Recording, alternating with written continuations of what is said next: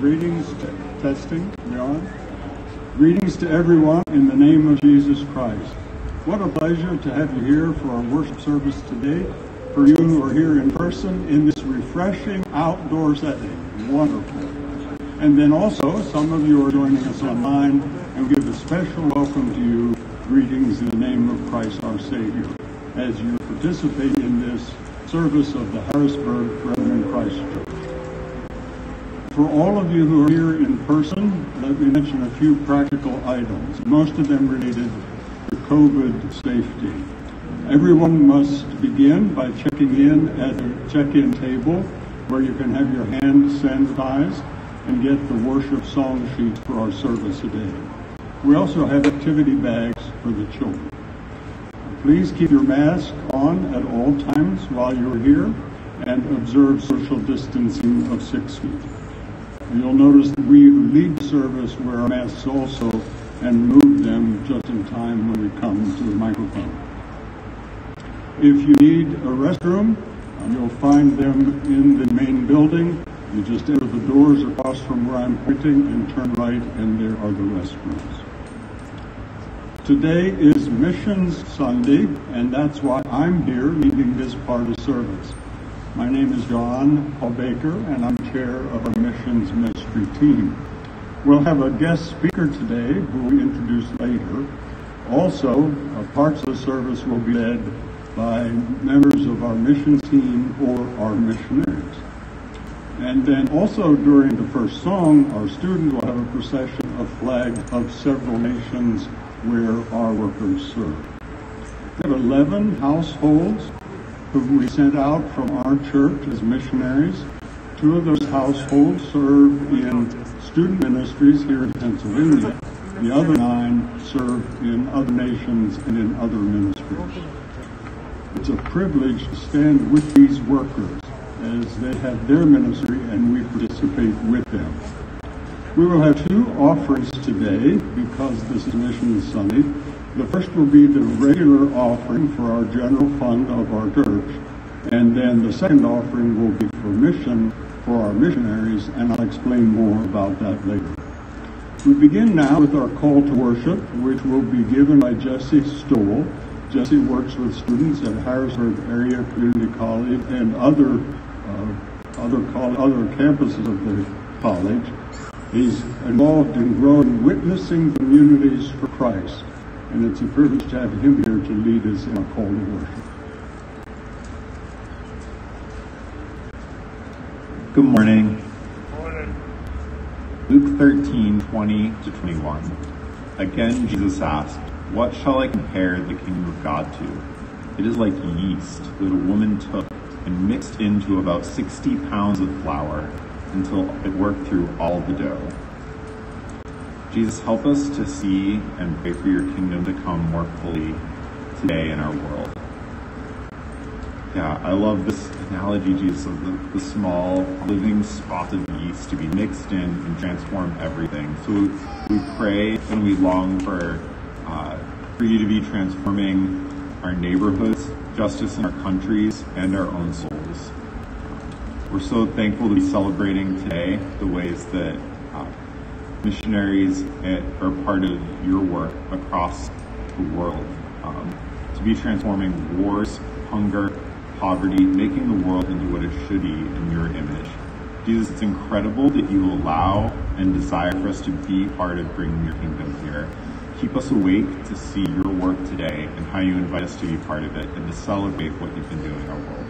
Amen.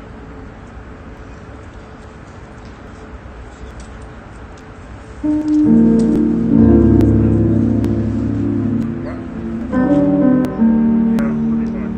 right, if you're able to stand and worship with us, please do.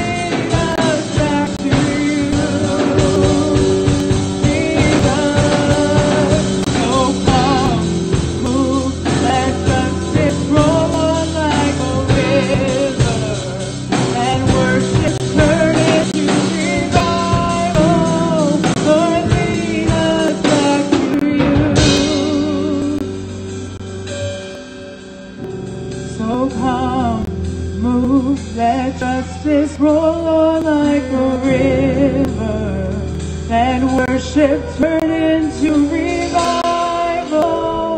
Lord, lead us back to you.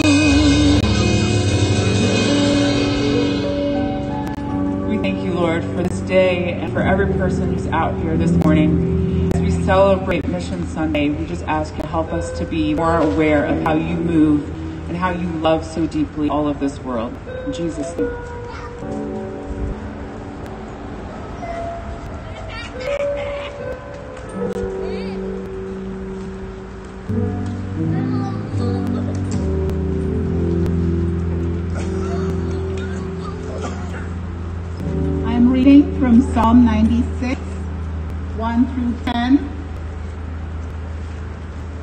To the Lord a new song. Sing to the Lord, all the earth. Proclaim his salvation day after day. Declare his glory among the nations, his marvelous deeds among all peoples. For great is the Lord and most worthy of praise. He is to be feared above all gods. For all the gods of the nations are idols, but the Lord made the heavens. Splendor and majesty are before him. Strength and glory are in his sanctuary. Ascribe to the Lord, all you families of nations. Ascribe to the Lord glory and strength. Ascribe to the Lord the glory due to his name. Bring an offering and come into his courts. Worship the Lord in his splendor of his holiness. Tremble before him, all the earth. Say among the nations, the Lord reigns.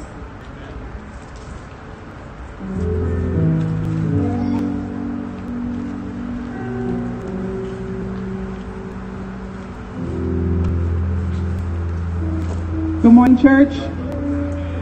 We're gonna um, get right into tithe and tithe an offering prayer. So I want to just remind you there's going to be two offerings today.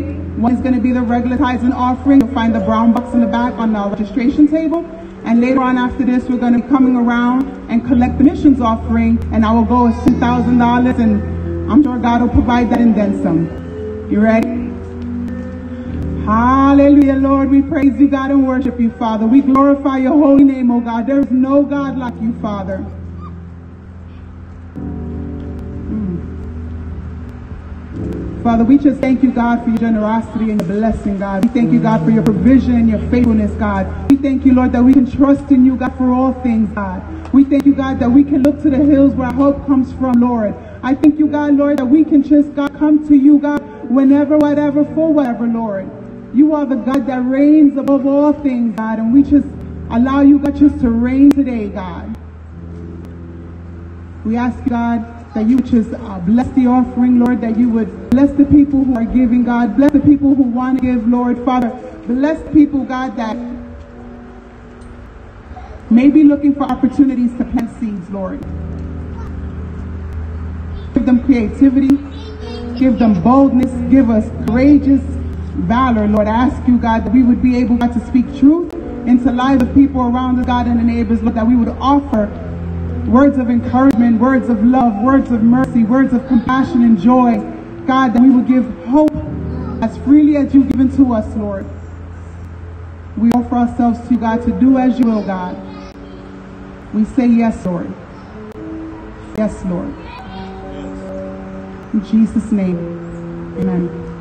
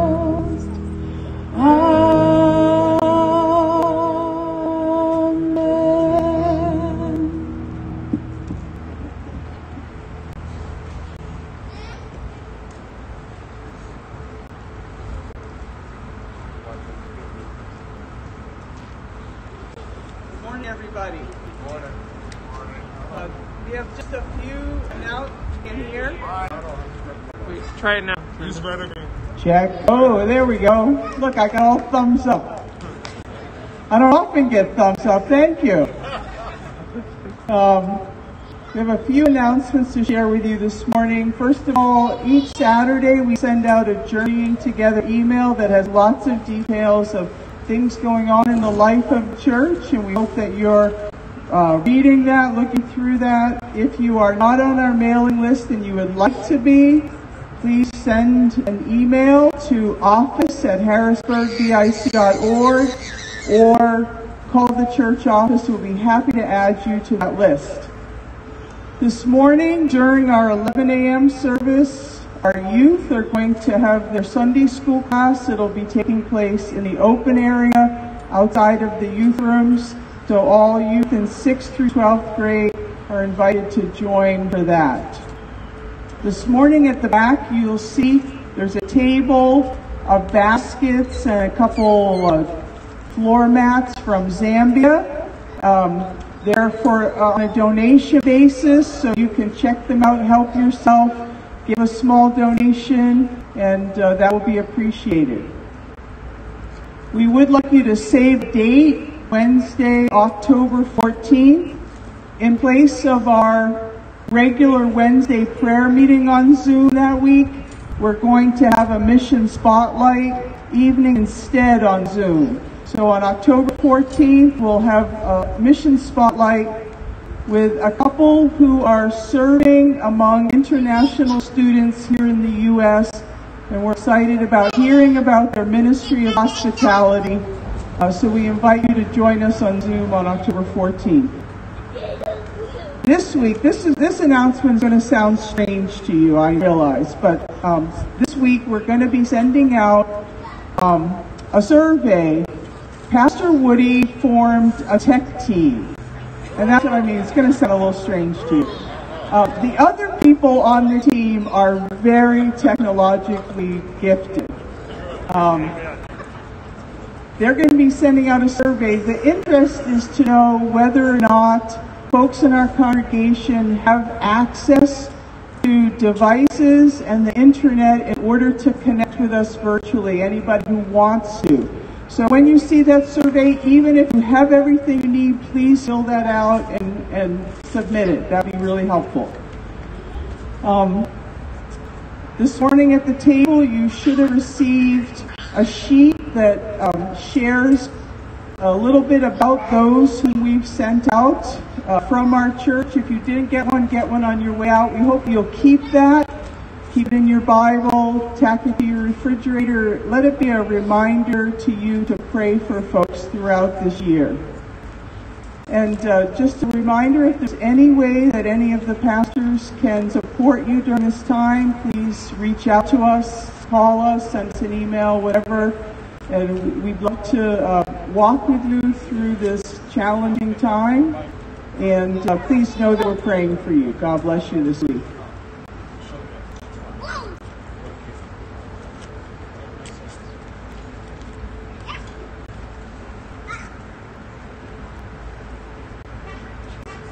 Greetings, Harrisburg BIC.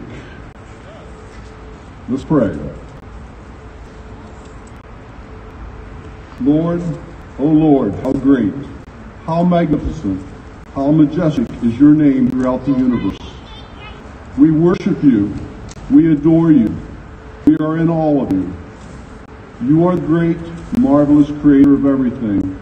Yet, who are we that you are mindful of us? You aren't just mindful of us. You came in person and lived among us. We praise your holy name. You freely chose the path of the cross. You died and were buried, and hallelujah, defeated sin, death, and hell. And now you ascended to the Father, where you still plead our case and are preparing a place for us. What more could you do? If only the people believe. But Lord, how can they believe if they've never heard? So many still have not heard. 70 billion since you paid the ultimate sacrifice. Oh, forgive your church. We must try harder. We must prioritize our witness in order to spread the gospel. But thanks to Jesus that this church has built in its DNA a mission, a mandate to clothe the naked, bind up the wounded, feed the hungry, and most importantly, spread the good news of the saving grace of the gospel, which you so sacrificially provided 2,000 years ago in Calvary. We worship you, Lord. We are so thankful for your sacrifice. Oh, how really can we ever show our gratitude? We here today at Harrisburg Brethren in Christ are so grateful to our forefathers, those way back in the early years at the Bailey Street Mission, who charted a path in their valiant attempt to serve body, soul, and spirit with our neighbors on Allison Hill and beyond. Bless their memory. This is our worship and our witness to our Jerusalem, Judea, and Samaria. Bravo, Harrisburg Brethren in Christ. All heaven must be applauding. But it's never enough, however we keep trying and expanding ministries. This church is sending our own to the outermost parts of the world. We sent more missionaries and servants abroad than any other Brethren in Christ church. Praise the Lord. It's in our DNA. Yes, Lord, my wife and I thank you, church, and thank you, Lord, for those opportunities. Right now, we have servants placed in the four corners of the earth, and some of us are waiting for the COVID, COVID cloud to clear so we can return to our places of service. Let it be so. And this is why, Lord, we have set aside this special missions weekend to gain your power and your spirit so we can go forward another year prioritizing, sending, and being sent into our neighborhoods at home and abroad. Lord, fill us with your spirit. Fill us with your determination. Fill us with your love for all mankind of every tongue, nation, and creed. Not only do we pray for ourselves, but Lord, we pray for the masses all around us, here and abroad, who name the name of Christ. All around the world, the sun rises and sets on your faithful flocks. Many who no fault of their own suffer ostracism, economic deprivation, outright segregation, beatings, incarcerations, every kind of oppression, and even death and martyrdom. Why? Because the crime is taking the radical decision of following Christ, the Prince of Peace. Lord, we want to uphold these dear ones who face the possibility of persecution at any time. Some of these are our own dear brothers and sisters. Lord, have mercy. Today we have gathered here on this mission day to remind ourselves that the great task of the church is the evangelization of the world. O Lord, fire us up so that we may never forget why we remain here. You've not yet called us home, nor have you returned for your faithful. Each and every one of us has a part to play in either going or sending. May we all take up the challenge. And finally, in closing, last but not least, we want to lift up our brother Jonathan Lloyd, our Director of Brethren in Christ U.S. World Missions and today's speaker. Lord, fill Jonathan as he will be sharing what is happening in your kingdom around the world with descriptions of the great need for workers and as he seeks to inspire us all to prioritize even more the spreading of the gospel to the masses who have yet to receive a single witness. Thank you, Lord, for the gathering of your church in these trying times. We praise your holy name. Amen.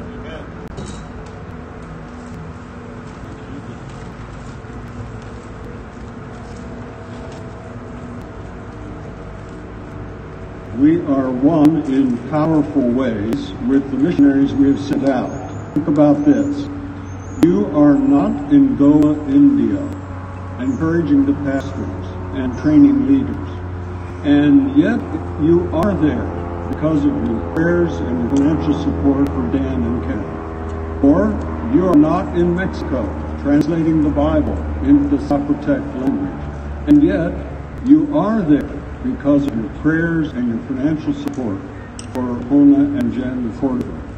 You're not in state college here in Pennsylvania, discipling students and training and discipling leaders. And yet you are there because of your love, your prayers, your financial support for Dan and Betty Miller. So with these things in mind, I'd like to talk with you about giving and our missions offering. Yes, as you've heard, we're having two offerings this morning. This is the second one. This one will go to the 11 households who we've sent out from our church as our mission partners. The goal for this offering is $10,000. Think of that. $10,000. That's a big item. But if we pray and if we listen carefully to God and act, together we can do this. You may give, of course, by cash or check uh, the, when the offering containers come around today. Uh, you'll notice at that time that we're using special bag offering containers the kind used in many churches around the world today. Uh, these bags have the benefit of being COVID compliant because you don't need to handle them or pass them. You just drop in your offering as the uh, servers, the workers come around to you. Fanny Ellenberg, one of our members, made these bags and we're real grateful to her for doing it. Uh, or you may give electronically. Uh, go to the website and in the upper right corner you'll see Give Online. Uh, there you can click on Choose a Fund. You would click on Mission Sunday Offering and following the prompts uh, you can designate the amount you're giving. This mission offering will be open through the end of October, so you may give to this offering anytime through the end of this month. We encourage you to give generously, even sacrificially, to this missions fund. Through your love, your prayers, and your giving, you are standing with our mission workers as they serve here and around the world. Let's pray. Father, give thanks to you for the work you're doing all over the world. Praise God. And thank you for the part that we and our mission partners have in this. In this offering time, we are giving to you for your glory. We're giving for the encouragement of our 11 households. And we pray you'll grant the entire offering now or by the end of the month. We thank you for this privilege of partnering with each other in powerful ways. In Jesus' name, amen.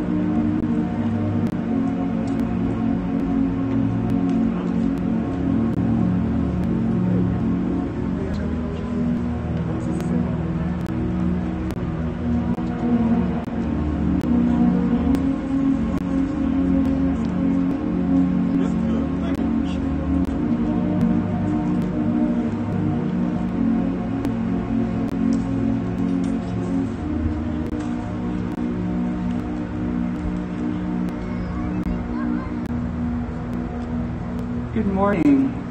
I'm pleased to be able to introduce the guest speaker this morning. You've already heard his name, Jonathan Lloyd.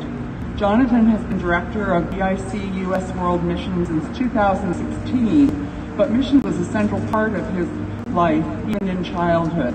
He was born to missionary parents serving in, with MCC and spent his first few years of life in, in the Democratic Republic of Congo.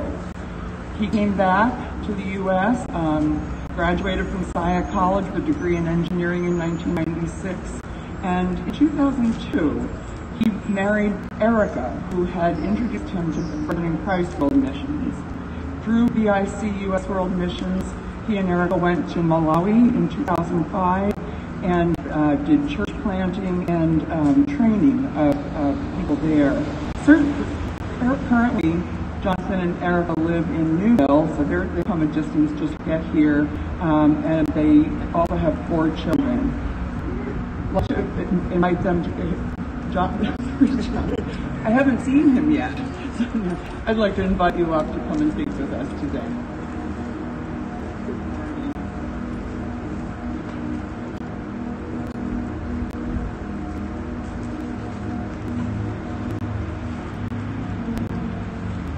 Well, it's a privilege to be with you this morning, HBIC.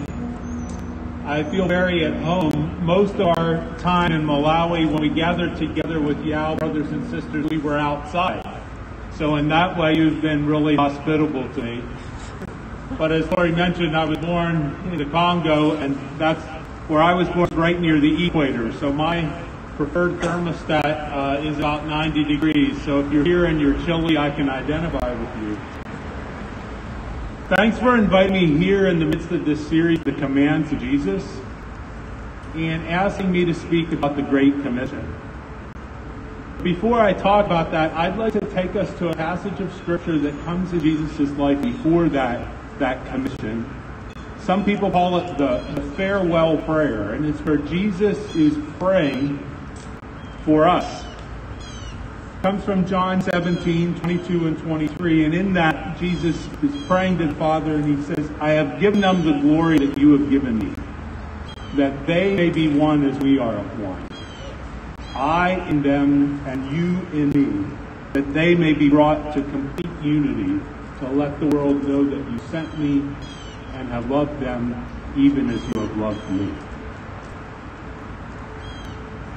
So I don't know about you, but when someone I know passes away, I think about the last words. And I believe all of Jesus' words were important, but I think the disciples remembered those last words clearly. And then Jesus is crucified, he comes back from the dead, and shortly before the ascension, he gives the Great Commission. So in Matthew 28, 19 and 20, we read his, his command. Therefore, go and make disciples of all nations, baptizing them in the name of the Father, and of the Son, and of the Holy Spirit, and teaching them to obey everything I have commanded you. And surely I am with you even to the very end of the age. See, I don't think the disciples were supposed to be united about reminiscing about the good times that they had had with Jesus and, and to stop there, just to stay in their own little group.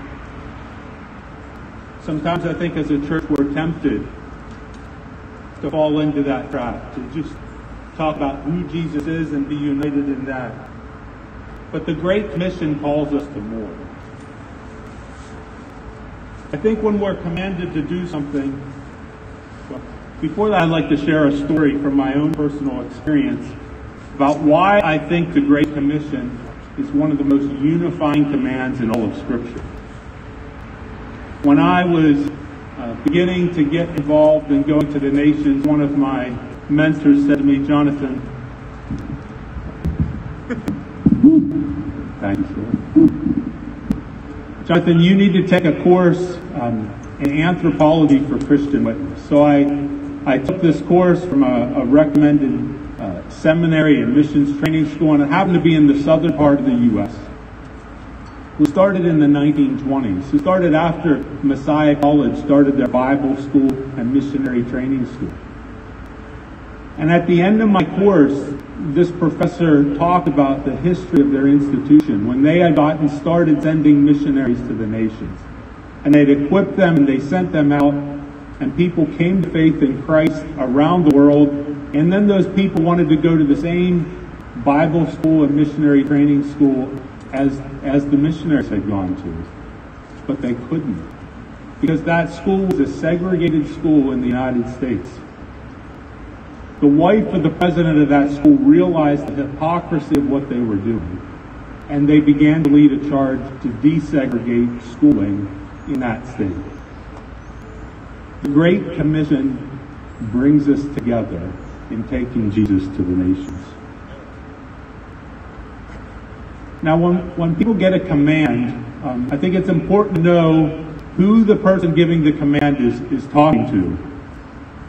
I think for some parts of my life, I thought that when Jesus gave this command, you know, it, it, it applied to those 11, 11 disciples. And I find it interesting that you have 11 households that you're supporting. Maybe it just applied to them. Maybe it just applies to like professional missionaries or professional clergy. And I think those are fair asks of this passage. But the Apostle Paul, in multiple places, makes it clear that the Great Commission applies to more than just those groups. In 2 Corinthians 5 18 through 20, we read that we are all called to be Christ's ambassadors as though God were making his appeal through us. In 2 Timothy 2 2, Paul says, we're to entrust the truths that we've learned to other reliable believers who can teach others. And in Acts 8, 3 and 4, we read, On that day a great persecution broke out against the church in Jerusalem, and all except the apostles were scattered. So the apostles stayed there in Jerusalem. Godly men buried Stephen and mourned deeply for him. But Saul began to destroy the church. Going from house to house, he dragged off both men and women and put them in prison. Those who had been scattered preached the word wherever they went. The early church understood it wasn't just a small elite group that was that was responsible to make disciples of Jesus. The task was given to all of us. Maybe the strongest argument for this comes right from the Great Commission itself, where Jesus tells the disciples to teach others everything that they have been taught. And Jesus had taught them to be disciple making disciples. Now, I know sometimes when I'm told what to do, um, if I don't want to do it, I do it with a little different fervor. So I think in addition to knowing that, that we were told to be a part of the Great Commission, we should want to be a part of it. And there are some really good reasons to want to be part of it. First, Jesus told us to. And, and we, we will say Jesus is our Lord. After a couple years of being in this small village where our family lived in Malawi, um, I had become really close friends with a young man. His name was Odyssey. He was teaching me the local language, and he came to me one day after we had spent hundreds of hours together. I mean, I had gone to his his fields with him. I had visited at his house. I had visited his elderly mom. He said, "Jonathan, the difference between you and me isn't that we uh, that we don't both believe in Jesus. We we both believe in Jesus." But he said, "Jonathan, Jesus is your Lord." And he said, and I am a Muslim, and Jesus is not my Lord. When the Lord tells you to do something, you do it. I think about people in the military, and I, I, I always find fascinating where in our language we use the word mission. In the military, they tell you, to go on a mission, or people will say, well, I went on this many missions. Well, if a military officer tells you to go on a mission, you don't negotiate. You don't give reasons why you don't want to do that. How much more we should want to be involved in the things that Jesus told us to do. Another reason why I think we should be excited about the Great Commission is with Christ in us, something should resonate as being right for eternity when we get involved in the Great Commission. Part of that is we're called to love people.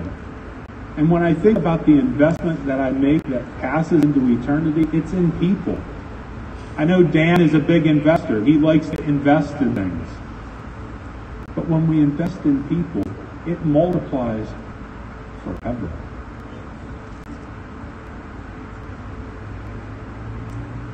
Another reason that we should want to be involved in the Great Commission is it helps us as disciples.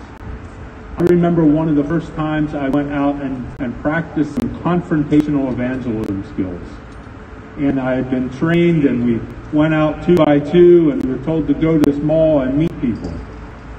And the first person uh, we decided to talk to, it seemed like a kind of a safe guy.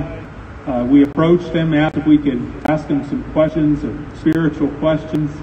And we talked for a little while. He said, You know, I'm a Jewish attorney. I know more about Scripture than you do. I appreciate what you're doing, but you're not telling me anything new. That drove me to learn more about who God is and about His Word and be better equipped for the next time I met someone like that. I'd like to share with you a few things about what we are doing as the BIC in obeying the Great Commission. Because while it is about all of us, there is a part about going. In the brethren in Christ, we are united about missions. That might sound obvious, but it, but I don't think it is. There are many many denominations who don't engage in missions in the way that we do. The Brethren in Christ for, for over 120 years, missions has been part of who we are as the denomination. We're not a separate agency that's out there engaging the world in disciple making. So when we go church planting, we go as the church. And when we have our meetings, there are bishops from across the U.S. and I sit there with them and we share the burdens of making disciples globally.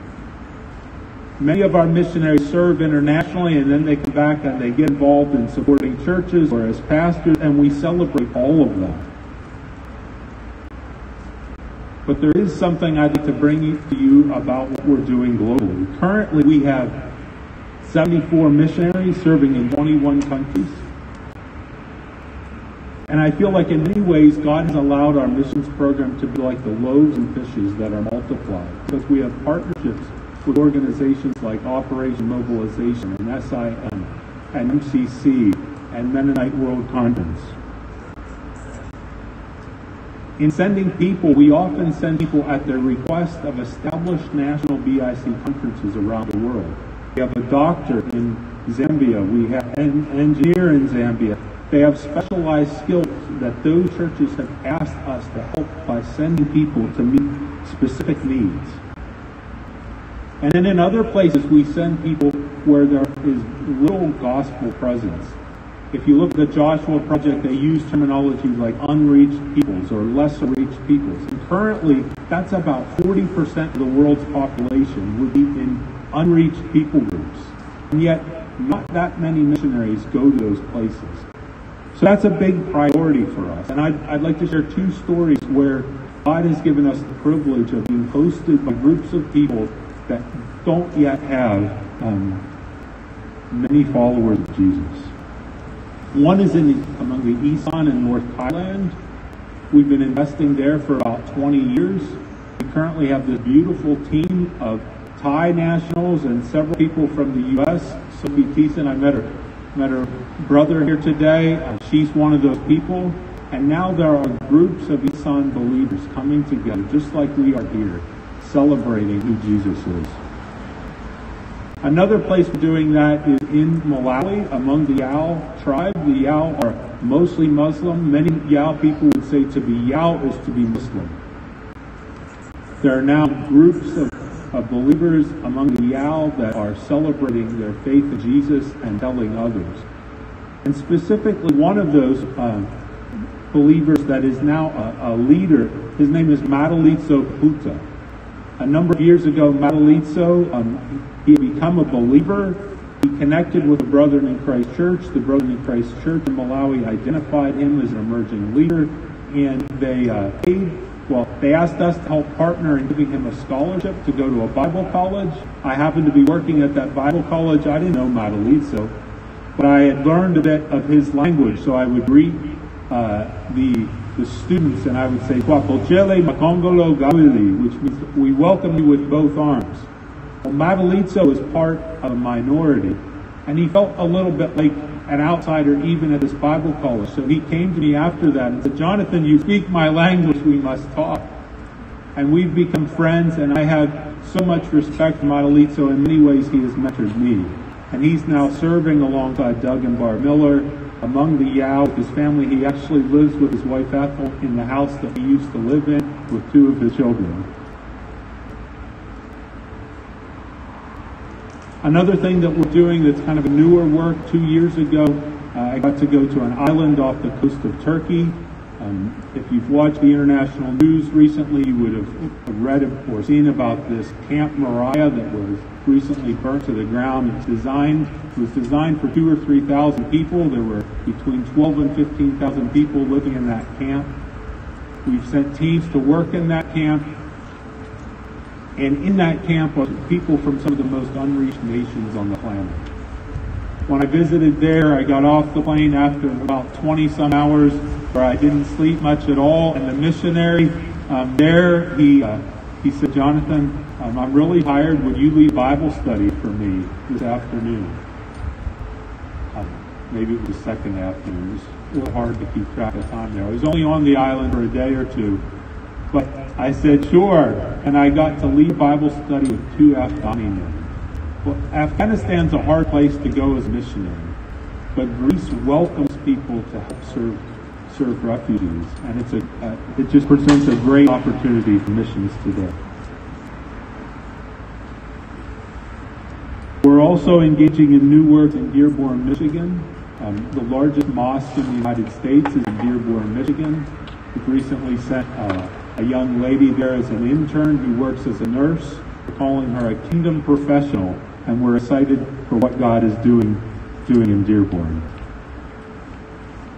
We're also uh, supporting uh, some missionaries in Kentucky who are working with international students. Not sure if that's the one that you're going to hear from or not. Might be. Yes.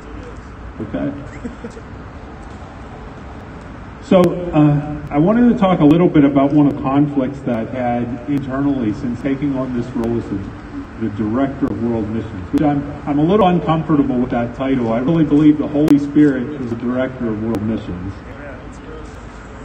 But people will say, and I've said, everyone's a missionary. But then I think missionaries, um, when I look at the missionaries that are out there serving, they're people that take high risk. They're people that are willing to sacrifice.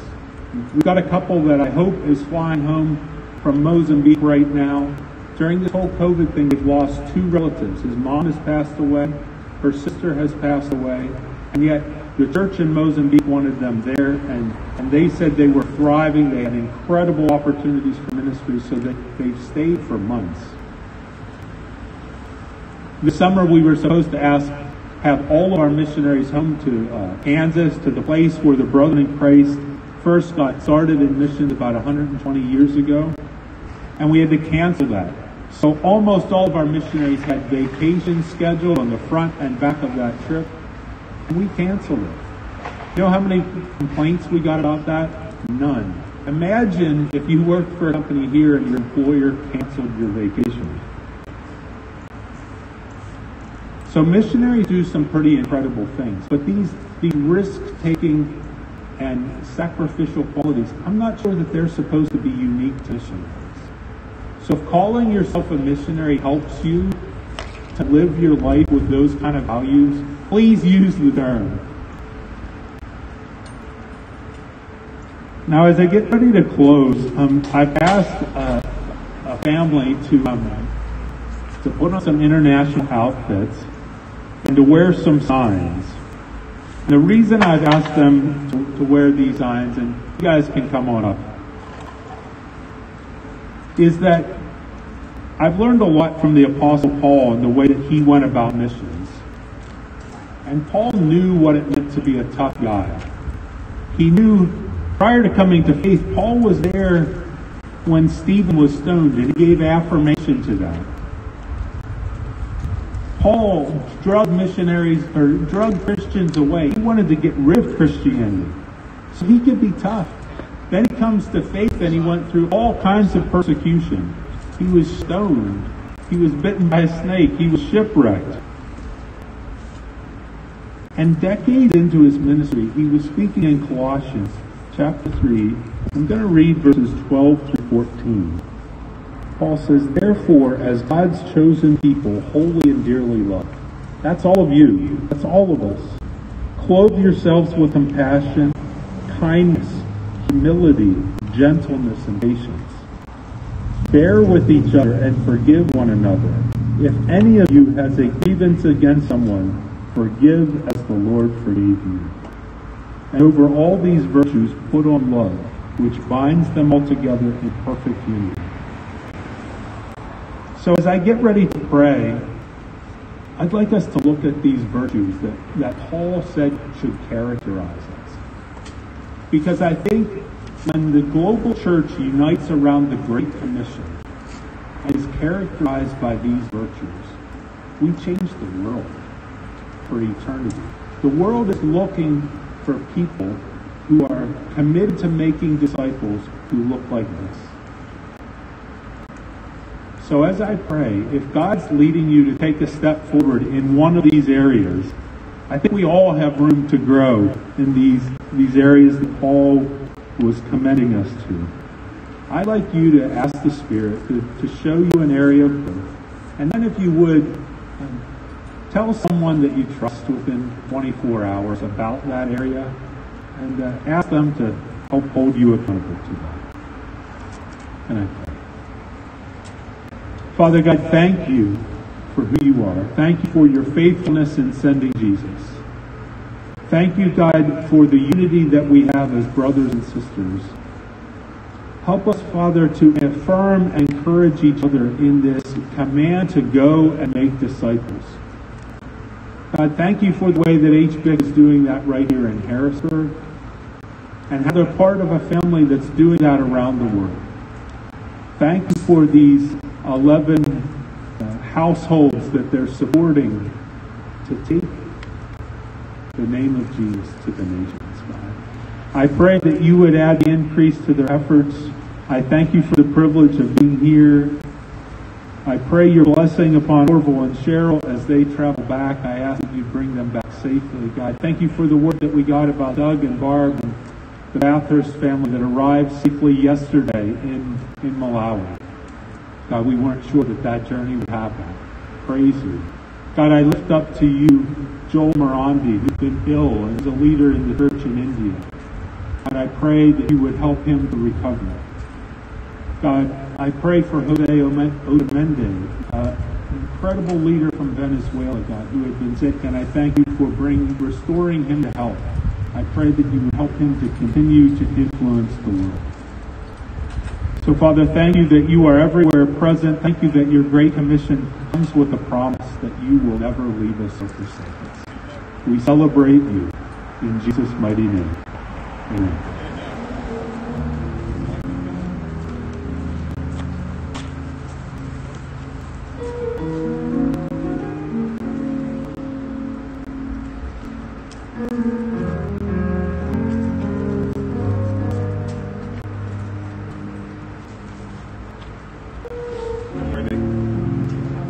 Right, right, right. Uh, Do you have elements? yeah, I'm good. Um, so one of the cool things about this Sunday, uh, Mission Sunday, is that it falls on the first Sunday in October, which churches around the world celebrate as World Communion Sunday.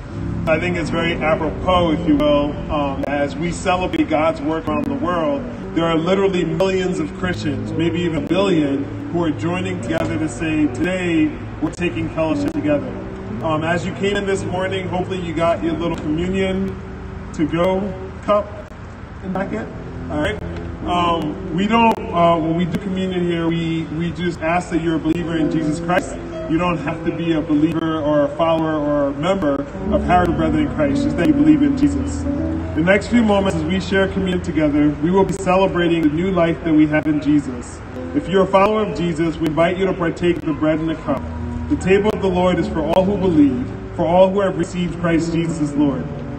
We now invite you to come to this table, not because you must, but because you may. Come to testify, not that you are perfect, but that you sincerely love our Lord Jesus Christ and desire to be his true disciple.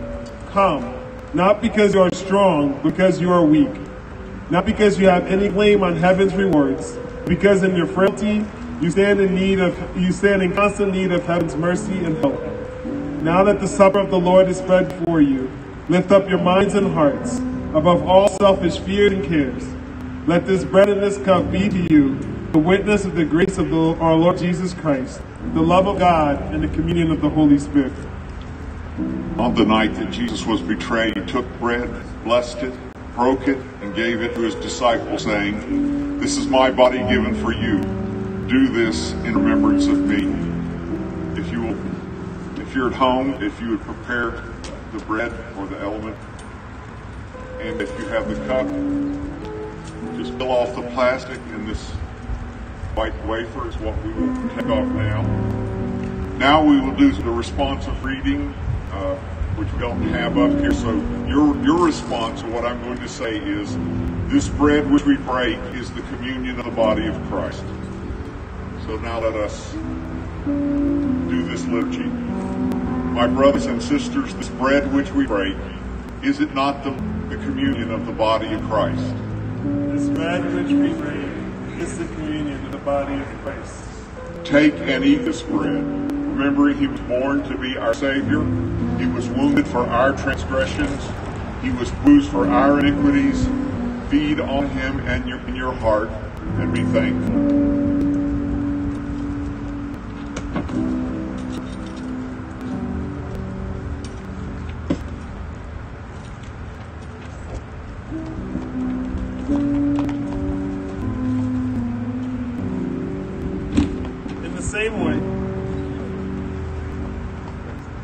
In the same way, after the supper, he took the cup, which in the Jewish Passover feast is called the cup of blessing. And he told his disciples, This cup is the new covenant in my blood, which is poured out for you. Do this whenever you drink it in remembrance of me. And now do the responsive reading for this one. Um, your response is going to be, This cup of blessing which we bless is the communion of the blood of Christ. My sisters and brothers, this cup of blessing which we bless, is it not the communion of the blood of Christ? This cup of blessing which we bless is the communion of the blood of Christ. Take this cup, remembering that he said, This is my blood of the covenant, which is poured out for many for the forgiveness of sins. Drink of it together and be thankful. Let us pray. Lord Jesus Christ, we thank you so much for the love you freely give, for the love, mercy, and compassion that you showed on Calvary's tree. Father God, we thank you that through Jesus' sacrifice, the pouring of his blood, the, the suffering of his body, we can come home again. Lord Jesus Christ, we pray that today as we sit at this table, we think of Christians all around the world gathered together, and we think of the generations that have come before gathered together, all to say thank you for your love, Thank you for your sacrifice. Thank you for your work. God, we bless you and we thank you so much for the blessing that communion is to us. The reminder that our God is good, that our God is faithful, and our God loves us. In your holy and precious name, amen. Um, at this time, we're going to have our final song. So I would just like to invite the team back up. Um, also, I think Pastor Woody and Pastor Carmen, if you guys want to hang out in the front, um, during our closing songs, we always like to have an invitation for prayer. Um, if there's something that happened in the service uh, that moved you or something you want to respond to, please come up. We'd love to pray for you. Um, if there's anything else you got going on or you're struggling with, please come up. We'd love to pray for you as well. Um, but as we sing the last song, may we be reminded that we are indeed, in one sense, all missionaries. But let us not forget those who are in the field, who are taking risks, who are away from family. Let us be their family as we uphold them in prayer. Let us be their family as we celebrate them, but also as we support them. So if you can, let's stand and sing our final song.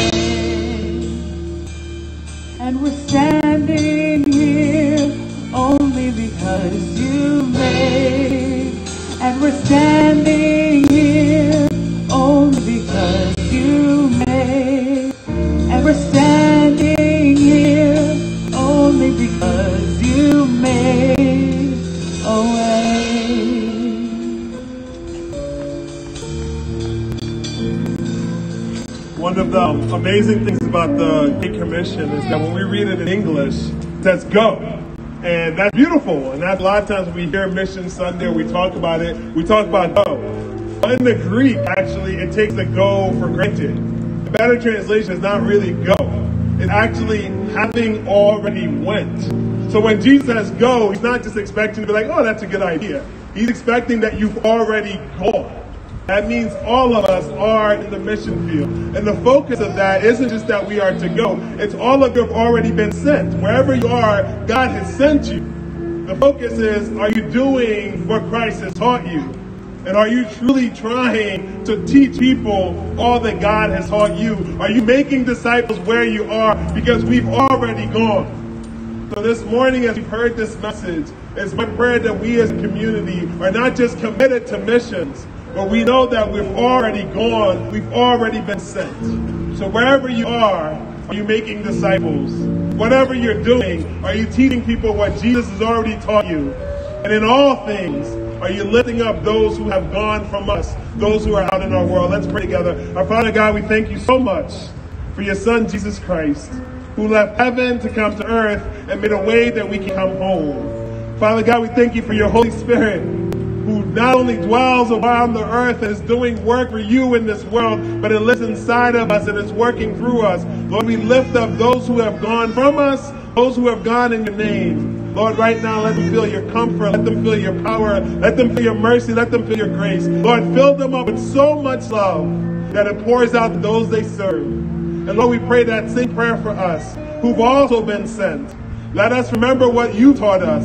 Let us be disciples who make disciples. And Lord, fill us up with that same mercy, grace, compassion. Let us be so filled of your love that it pours out of us into our world. Lord, we thank you that you're a Savior.